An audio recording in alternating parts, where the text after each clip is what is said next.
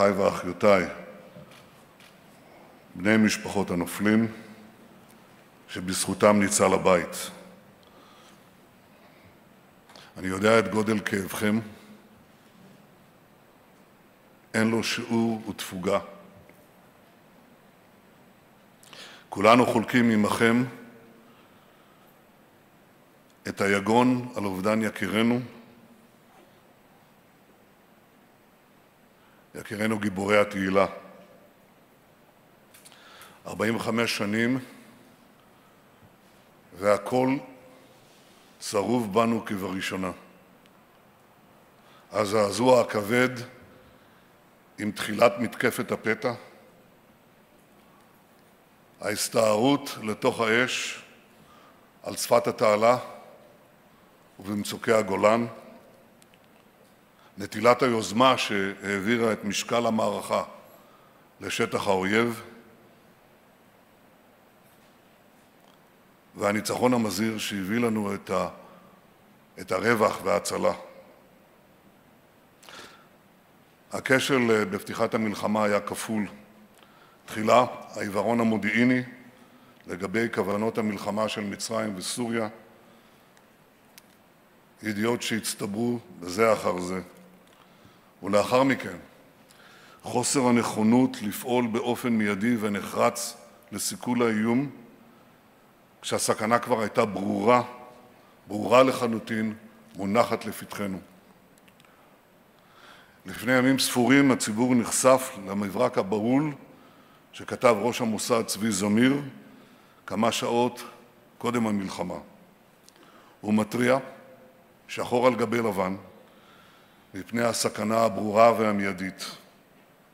גם הספקנים הגדולים ביותר היו חייבים להשתכנע ולפעול בהתאם. אינני ממעיט בגודל ההחלטה, בגודל ההחלטה הנדרשת. ההחלטה לתקוף בהתקפת מנע היא החלטה פשוטה לכל ממשלה, להערכתי ההחלטה הקשה ביותר בפני כל ממשלה. כי לעולם לא תוכל להוכיח מה היה קורה אם לא היית פועל. אבל בהינתן ידיעה חד-משמעית, כמו במקרה זה, ישראל הייתה חייבת לתת מכה מקדימה כדי למנוע מן האויב את ההצלחה הראשונית ואת הקורבנות הרבים שההצלחה הזו גבתה מאיתנו. ואני חושב לא רק על אלפי ההרוגים, אלא גם על אלפי הפצועים בגופם ובנפשם, על השבויים, על הנעדרים. לקחי המערכה חקוקים בנו היום, לא פחות מאשר אז. אנחנו שומרים בלא פשרות על האינטרסים הביטחוניים של מדינתנו. אנחנו סורקים כל הזמן את האופק כדי לאבחן בעין בוחנת, בעין ביקורתית, את הסכנות שאורבות לנו וגם את ההזדמנויות שנקרות בפנינו. עלינו לעשות כל מאמץ למנוע מלחמה. אבל אם היא תכפה עלינו, נפעל במלוא הכוח נגד מבקשי נפשנו. מבקשי נפשנו מובלים היום במזרח התיכון בראש ובראשונה על-ידי אירן, שבתוקפנותה קוראת בגלוי להשמדת ישראל, וחובתנו להגן על עצמנו מפני סכנה זו. כך נוסיף לעשות. ביום הכיפורים הזה, כהרגלי, הייתי בבית הכנסת, הרהרתי ביום הקדוש ההוא, לפני 45 שנים, שבו הוזעקו המתפללים לחזית בטליתות של חאקי. ביום השני למלחמה חזרתי מלימודיי באוניברסיטת MIT בארצות הברית כדי להצטרף למאבק הקיום של מדינתנו. המטוס שטסתי בו ארצה היה עמוס בלוחמים ובמפקדים שחזרו גם הם לישראל כדי להגן על המולדת. כעבור כמה שבועות, כשחזרתי אחרי המלחמה ללימודיי, רבים מאלה כבר לא היו איתנו. במשך ימים ארוכים במהלך המלחמה לא ידעתי היכן נמצאים שני אחי, יוני ועידו, שהשתתפו במלחמה בחזיתות שונות. כמה שמחתי לפוגשם בריאים ושלמים בתום המלחמה, וכמה התעצבתי, עצב בל יתואר, לשמוע על המחיר הנורא ששילמנו בחברים יקרים, חברים לנשק, חברים לספסל הלימודים, ובמיטב בנינו שנפלו. גם היום, אחרי 45 שנים, הסיפורים והעדויות מוסיפים להרעיד מיתר בקרבנו ובקרבי. אביגדור קהלני, מקציני השריון המהוללים שלנו, מפרסם בימים אלה את ספרו על מנהיגות במעגל החיים. קהלני כולל בספר שיחה עם מפקדו, יאנוש בן גל, הבלתי נשכח, בעיצומה של הלחימה. כמפקד חטיבה 7, יאנוש הפיח רוח קרב באנשיו. הוא אמר שוב ושוב, אותנו הסורים לא יעברו. חטיבה 7 לא תקרוס. והיא לא קרסה. במשך אה, כמה ימים בלמו השריונאים האמיצים מאות טנקים סורים. הם הסבו להם אבדות כבדות. ביום שבו אביגדור קהלני נלחם על חייו בעמק הבכה ברמת-הגולן, אחיו עמנואל נפל בסיני.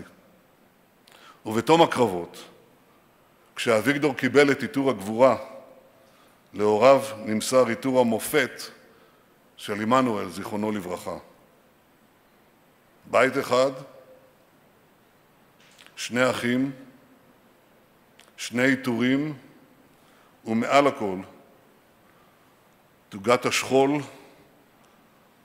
על נפילתו של בן ואח אהוב. הדור הנוכחי של לוחמי צה"ל יונק תעצומות נפש מדור מלחמת יום הכיפורים. הצעירים שותים בצמא את מורשת הקרב של קודמיהם. רבים מהם הם נכדים לאותם גיבורים, אותם גיבורים שהפגינו כושר עמידה וגבורה עילאיים באוקטובר 1973. כושר העמידה הזה והגבורה הזאת הם שהביאו את השלום עם שתיים משכנותינו. כי דווקא גודל הכישלון בתחילת המלחמה העצים את גודל הניצחון בסופה, וישראל נחלה ניצחון כביר במלחמת יום הכיבורים. פחות משלושה שבועות אחרי שספגנו מתקפת פתע, צה"ל עמד בשערי קהיר ודמשק. בזכות יכולתנו, בזכות יכולתם של הלוחמים והמפקדים להפוך את הקערה מנחיתות קשה להכרעה מוחצת, נסללה הדרך לשלום עם מצרים ובהמשך גם לשלום עם ירדן. במזרח התיכון של ימינו רווי הסכנות, מפציעות גם קרני אור. יחסינו עם העולם הערבי המתון מקבלים תפנית חסרת תקדים. מדינות מרכזיות מבינות יותר ויותר את ערך הקשרים עם ישראל. זה אולי יארך עוד זמן מה, אבל אני מבין, אני מאמין, שההתקרבות ההדרגתית תניב פירות משמעותיים של נורמליזציה, ובהמשך גם של שלום. היעד הזה מנחה אותי במקביל לביצור כוחנו בהגנה, בהרתעה ובהתקפה. נוסיף להבטיח בעזרת השם שחוט חיינו לעולם לא יינתק. אני מאחל החלמה בגוף ובנפש לפצועי מלחמת יום הכיפורים, ולכן, משפחות יקרות, אתם ששילמתם את המחיר היקר מכל, אזכיר בהערכה אין קץ את דבר משורר תהילים, כי היית מחסה לי מגדל עוז מפני אויב. יהי זכרם של הנופלים ברוך לעד.